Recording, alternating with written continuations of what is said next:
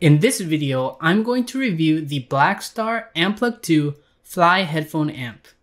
Hey, my name is Joseph and on my channel you'll find gear reviews, unboxings, and guitar tips. So if that interests you, consider subscribing. To connect the headphone amp to my guitar, I'm going to be using an extension cable like this, and this just makes it a lot easier to see and get to the controls on the headphone amp. So if you're interested, I'll leave a link to this as well as the headphone amp in the description below. But first, let's do a quick run through of the controls. Here is the power button. Pressing and holding it for one second turns it on and off. Pressing the button after changes between the three channels, green, orange, and red, which represents clean, crunch, and lead respectively. Here is the aux jack that you can connect any external device to, which you can use to play along to your favorite songs or backing tracks. We have three wheel controls for gain, ISF, which is basically their tone control, and volume. We have an effects button to switch through the different effects, which go from chorus, delay, and reverb, and no effect. And finally, your headphone jack. It comes with two AAA batteries and it also has an auto power off feature which will turn off the device after 30 minutes of no input or control changes. Okay, so now we're going to run through the settings on each of the three channels to give you an idea of what sounds to expect.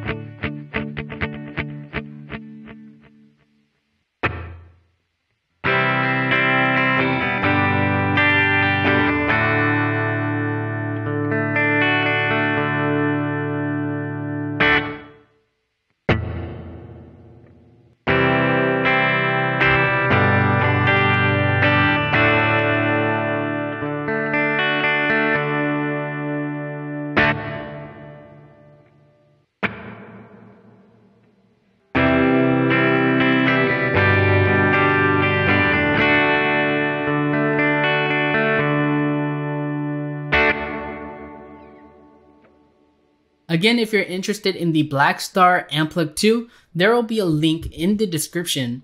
But if you're interested in checking out some of the other headphone amps out there, check out my playlist by clicking the card. Make sure to like and subscribe, and I'll see you in the next video.